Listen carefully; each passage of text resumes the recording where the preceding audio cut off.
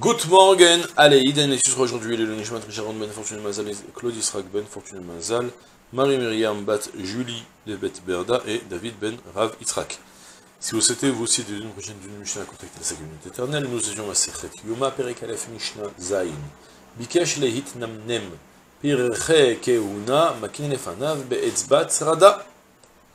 ואומרים לו, אישי כהן גדול, עמוד והפג אחת על הרצפה.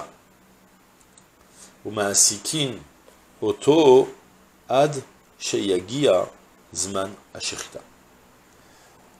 On est toujours dans la nuit de Kippour.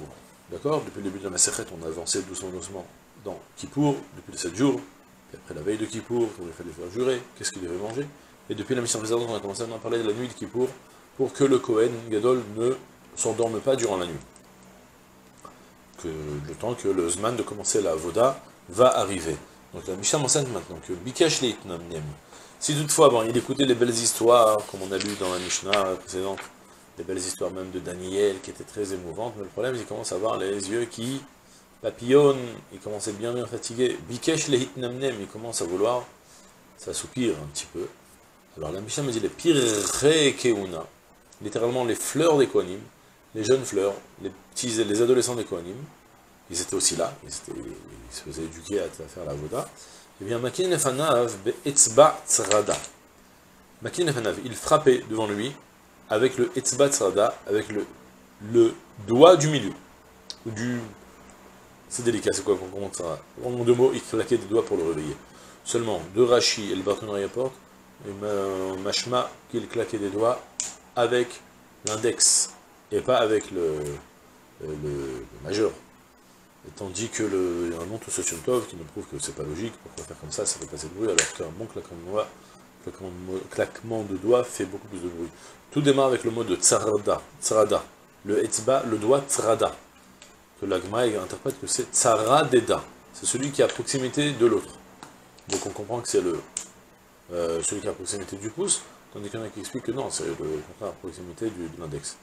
Ok Donc il frappait devant lui, il claquait deux doigts pour le réveiller, et il lui disait, Ishi Kohen Gadol, Monsieur le Kohen, Seigneur, le, Monsieur le Kohen Gadol, Amod, lève-toi,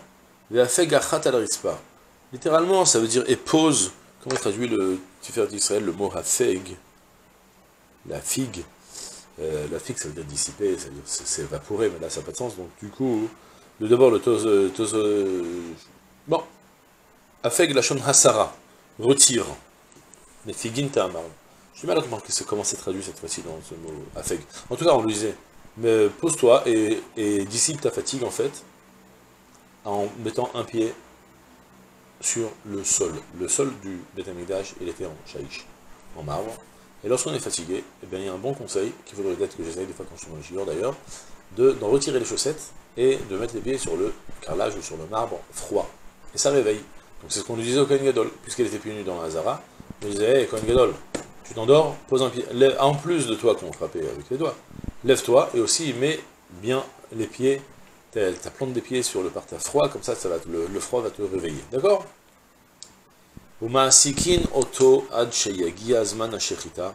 Et on l'occupait en lui parlant et en le soutenant et puis en lui faisant partager des discussions et tout ça, jusqu'à qu'arrive le moment de faire la shrita du Korban Tamid, c'est-à-dire donc le petit matin après à l'Otachachar.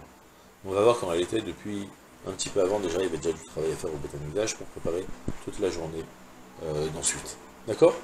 C'est tout pour aujourd'hui. Je vous que je vous comme tout, là.